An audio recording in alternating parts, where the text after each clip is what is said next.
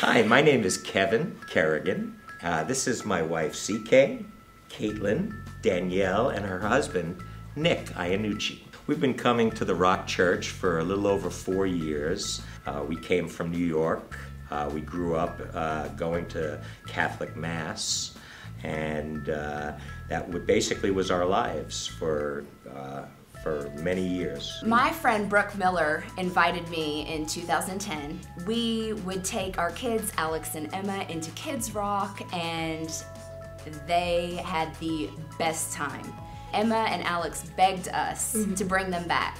And I thought that was crazy because when I was a kid, I never begged my parents, ever, to take me to church. So I thought that was amazing. And then, you know, I felt the presence of the Holy Spirit in worship and then heard PK's message and I just had to come back and I had to tell my parents about this new thing that I had experienced because I had never experienced anything like that before. The first time I went, I mean, God was introduced to me as someone that I could reach and someone that I can touch and grasp and get to and have access to, as opposed to just thinking sort of maybe there is a God out there somewhere.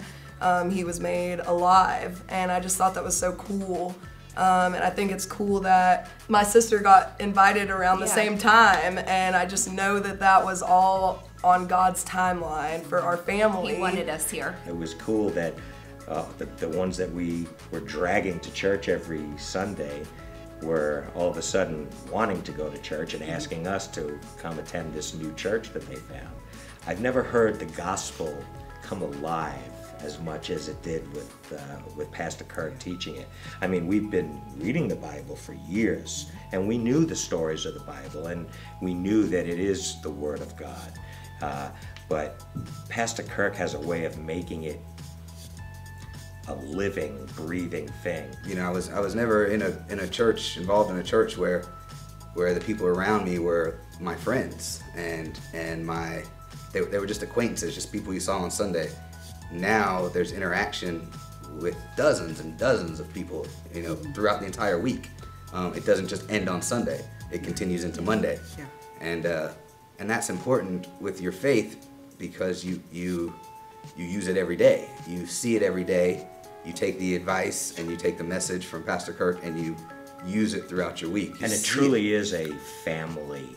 Uh, yeah. we've, we've been going to church our whole lives, but until we came here, we've never realized and felt that we were actually a part of something even bigger than ourselves. Uh, I, I, know that we've become a, a, part of this church family and the friendships that we've made.